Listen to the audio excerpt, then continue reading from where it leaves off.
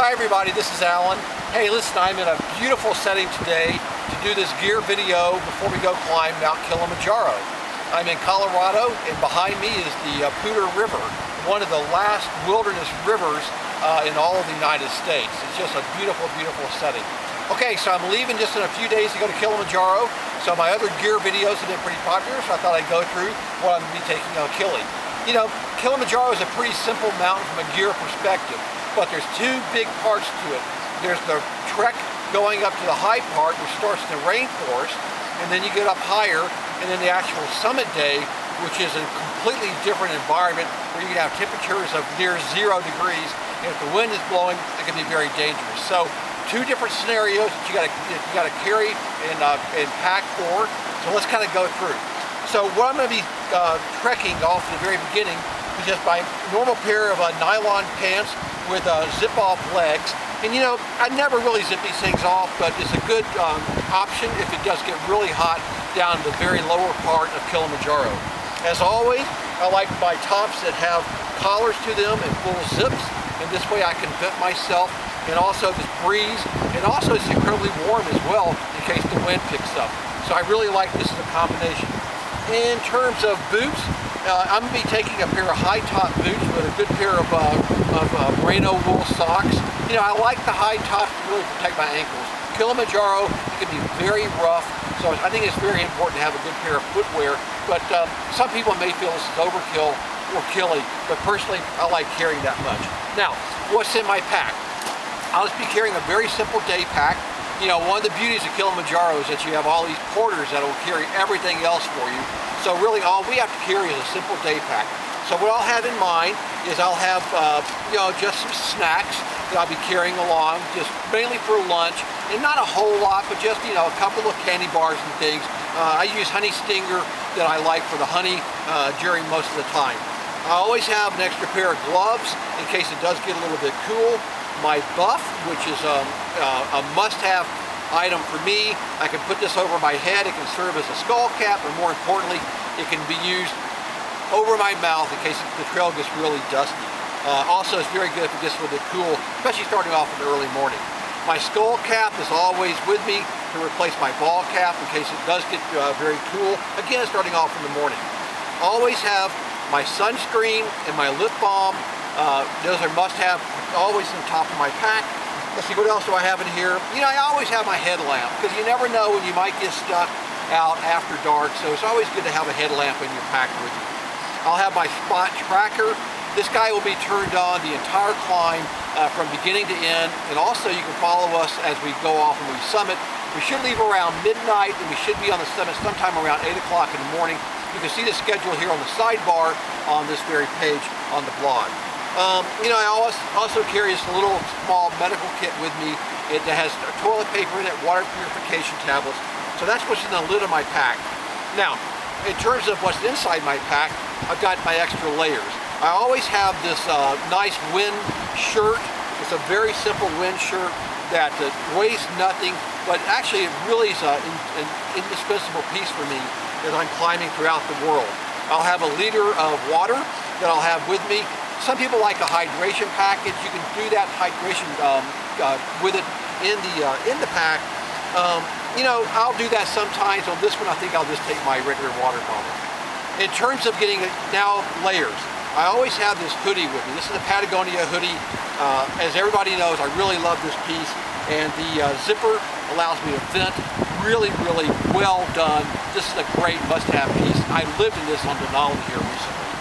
Let's see, what else do I have in here? You know, Kilimanjaro can get very wet. So one of the things I have is my rain cover for my pack, but then most importantly, I've got a couple of rain shells. Uh, this is a this is the rain shadow from Patagonia. I will have this in me from beginning to end. And also, I'm going to use this as my technical shell for the summit night, which I'll get to in just a second. What I like about this is it's 100% waterproof. It has pit zips in it that I can use to vent. Really a great, great piece. And finally in my pack is a pair of pants, uh, again from Patagonia, the Rain Shadow pants, 100% uh, waterproof. You know, these have the full zippers. I always like to pack these with the zippers already halfway done so that I can quickly get them on if it does start to pour down. I'm not fiddling with zippers and everything else. So all this goes to my pack. You know, I'd guess that my pack, including my uh, camera in there, will weigh around 10 pounds, so not a whole lot.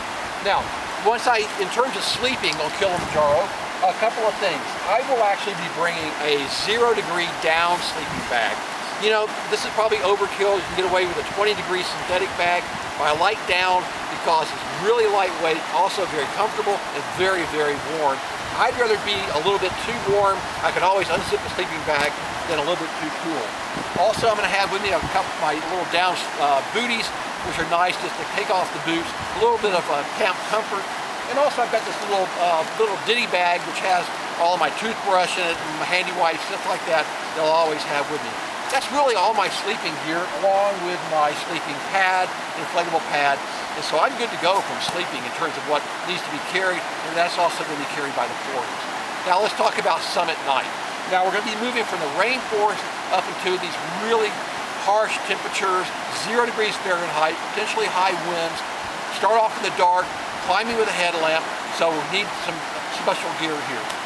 Uh, first off, I'll be carrying with me extra heavy gloves. Some people like mittens. These gloves with a fleece liner will be good enough. You know, I'm also going to throw in here some hand warmers just in case it does get extra cold. Um, in terms of layers now, a little bit heavier pair of briefs. My long underwear now consists of merino wool bottom and top. Uh, a little bit heavier top to it again with a collar on it and a full zip so that I can vent in case I get warm. On my legs are my guide pants. Uh, these are lined, but they're also windproof.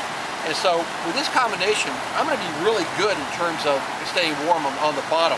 I will be carrying my hoodie, which will be an integral part. So that's now a mid-layer fleece. And then finally, on my top is my uh, down jacket. Actually, this is a Primaloft jacket you know, once again though, as everybody knows when watching these gear videos, every one of my jackets has a hood on it, and um, this, this will be good. So on my top is just going to be really four layers. My merino wool base layer, this is the top, mid-layer section fleece, and then this is my, is my jacket. If in case the winds really pick up, I'll put that rain shadow jacket on, the rain jacket, and then I'll be, um, I should be very, very warm. I'm not really worried about getting too cold. To stay pretty active up here. Finally, uh, I will take along another two liters of water, and this one will have the water bottle parka on it. Okay, so that's really it. Uh, you know, as you can see, not a lot here. It's all about layering. Not too many layers, uh, but also enough layers so that you can be versatile as you go through the temperate climates in case of rain, a little bit colder, and then extremely cold. And then you can delayer as you come on down. So you know, this is the um, this will be the sixth climb of the Seven Summits Climb for Alzheimer's Memories Everything. You guys have been fantastic following me along. I really appreciate all the support for this disease, raising money for it, raising awareness. You know, it's down now that every 69 seconds another person is diagnosed with Alzheimer's in the United States. So that means every about every minute another family goes through what my family went through. And that's what this is all about. We've raised a lot of money that's going to research, to caregiver support and also for education and awareness. And it's all thanks to you. I appreciate it so much.